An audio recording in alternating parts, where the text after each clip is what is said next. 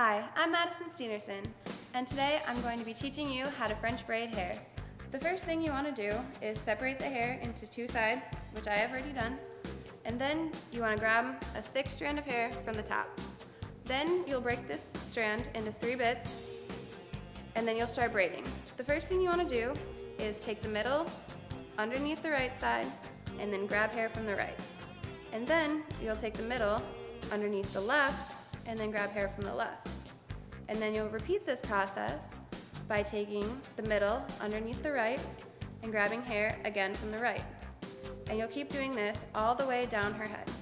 During this process, you want to make sure that each strand you're taking is an even amount so when the braid is finished, it'll look perfect.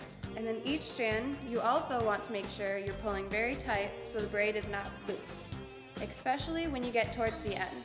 Then at the end of your braid, once you're all out of hair to take from, you'll start making a regular braid.